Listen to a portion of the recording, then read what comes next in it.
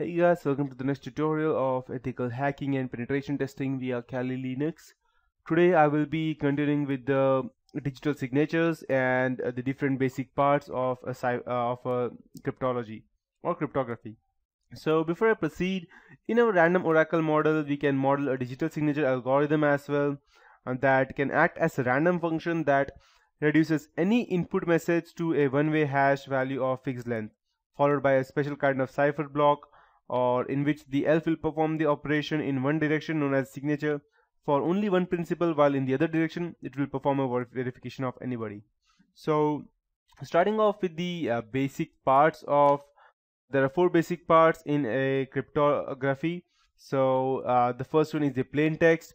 It is an unscrambled information to be transmitted and it could be a simpler text document, a credit card number, a password, a bank account number, or sensitive information such as payroll data, personal information, or personal information, or secret formula being transmitted between organizations.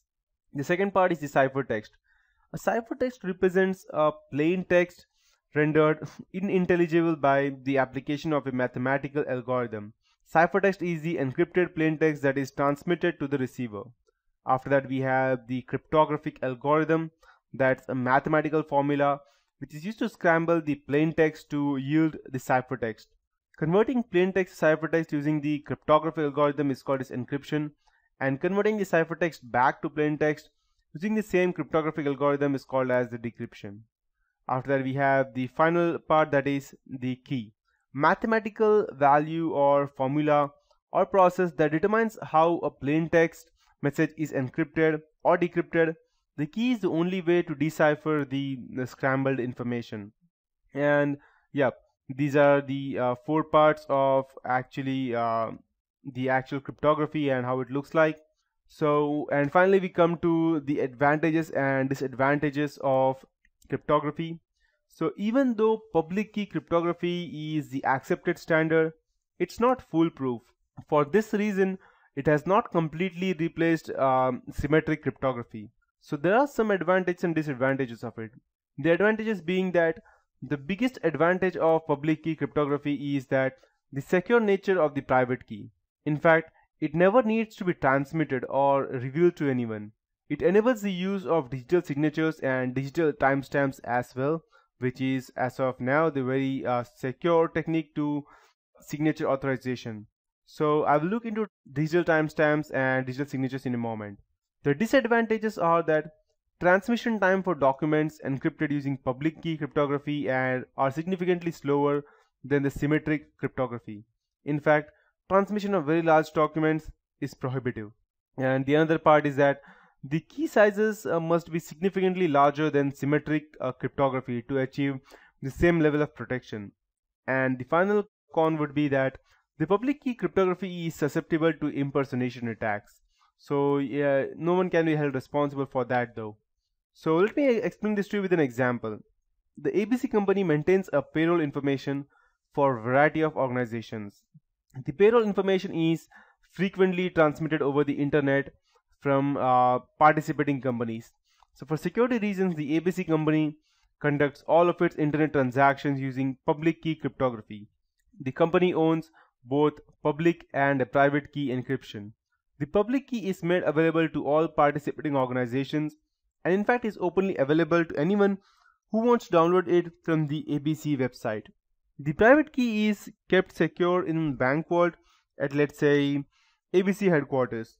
So when the XYZ company wants to transmit its payroll data to the ABC company, it first encrypts the data using the ABC company's public key. Once it is encrypted, the scrambled payroll data is transmitted securely over the internet to the ABC company's processing department. If the information is intercepted along the way, all the interceptors will see uh, is scrambled information and nothing else. Even if the public key, uh, which is very possible, uh, they will uh, not be able to unscramble the information. So the only private key can do that. Once the information is received by ABC, the private key is used to unscramble the information allowing the processing document to process the payroll. Using symmetric cryptography, uh, the ABC company would have to deliver through some secure means uh, such as a courier a copy of its one and only private key.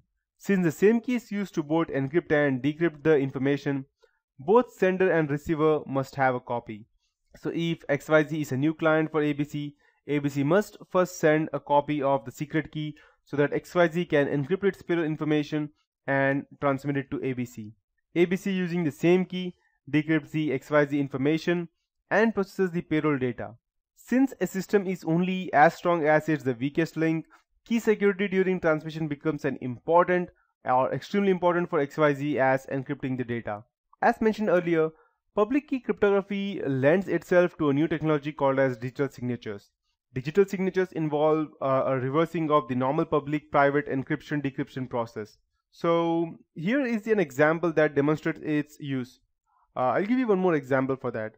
Let's say uh, Mary wants to uh, okay I had okay. Let's say for example Mary wants to send the ABC company a request for a special document. Before the ABC company can send that document they must be assured that the requester is actually Mary and not some person impersonating her. So a digital signature can verify Mary's validity to ABC in uh, such a way Mary first encrypts her name using her private key she then encrypts the request along with the encrypted name using the ABC company's well-known public key. When the ABC company receives the message, it decrypts the request using its private key and then decrypts the signature using Mary's well-publicized public key. If the name uh, decrypts successfully, then it must be Mary's signature since she is the only one who could have the encrypted, uh, who could have encrypted it with her secret private key. The request can be uh, safely processed Digital signatures are gaining popularity in many internet transactions involving signature verification such as contracts and other legal negotiations, as well as court documents. Recent uh, enhancements to digital signatures include such as digital timestamps. Digital timestamps apply uh, when a uh, criteria to a digital signature by attaching a widely publicized document or summary number to the signature.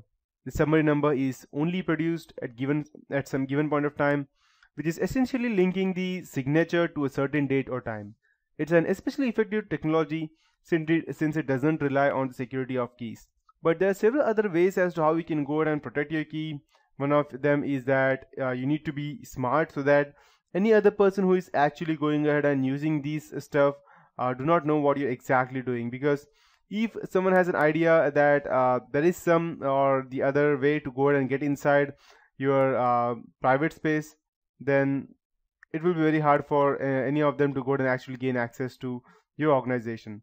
So yeah that would be it for this tutorial. And uh, that's how cryptanalysis uh, encryption and detection attack works so that's it for this tutorial. In the next tutorial we'll be taking a look at session hijacking and cookie stealing